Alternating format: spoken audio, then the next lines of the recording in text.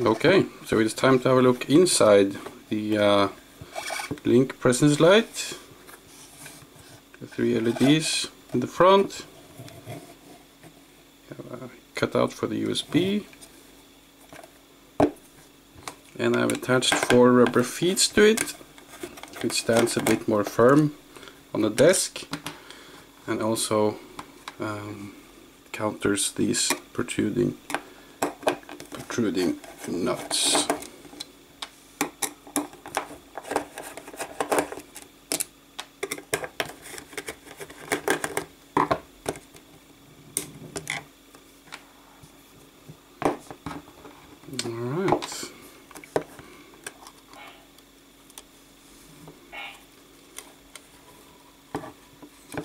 So this is pretty much it.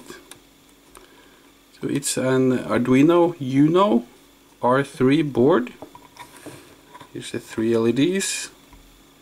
The colors of the wires uh, match with the colors of the LED. Just to make the assembly a bit simpler. And you can see that all the ground wires are connected together doesn't really matter which ground pin we use, they're all the same. I've uh, I use these straight pin connectors. Just make it easier to attach and detach from the Arduino board. They're not required, but um, yeah, they just make it easier. I've left some unused pins here as you can see. So if I ever need another ground or another 5 volts it's available.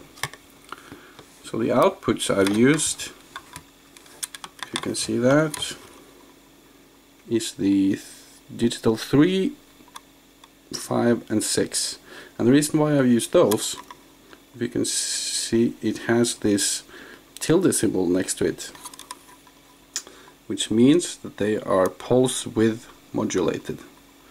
I don't use that functionality now, but it means that I can get these LEDs, um, I can control the brightness on these LEDs, so you can fade in, fade out, you can soft blink, you can do that kind of that kind of thing. So um, I'm not using that functionality in the uh, program yet, but it's very easy to, to extend to do that in the future.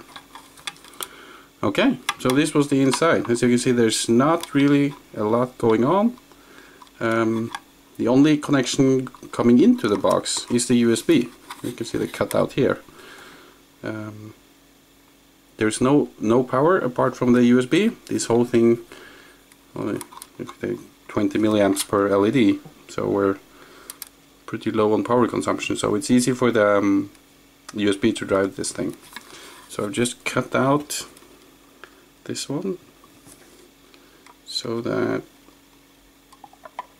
yeah as you can see the wire sort of disappears a bit um, into the box but works like a charm. Yeah. That was it. Thanks